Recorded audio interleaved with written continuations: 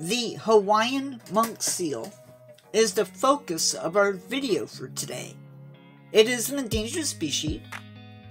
Now, at their heaviest, this species is 600 pounds, and they can grow to be 7 feet long.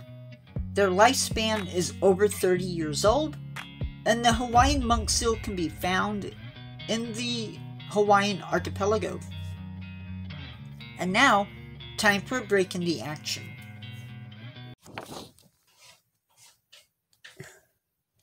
Time for a quick pause in the action. Just a quick reminder for you to subscribe if you haven't. Click the like button, leave me a comment, and share the video with someone in your family or your friend group. And now, back to your regular video. They are only endemic to the Hawaiian Islands, and they are protected by both the Endangered Species Act, the Marine Mammal Protection Act, and the state of Hawaii. Now, these seals go through a huge molt where they shed their top layer of skin and fur. Now, these seals feed on a mix of fish, squid, octopus, eels, and crustaceans. And they are said to hold their breath for up to 20 minutes and can dive down to 1,800 feet.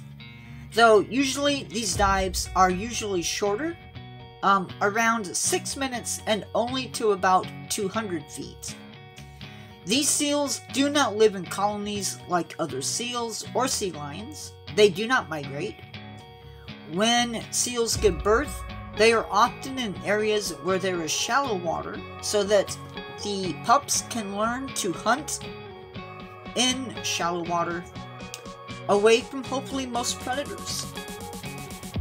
Females reach sexual maturity around 5 to 6 years of age, and it's unknown when the males mature.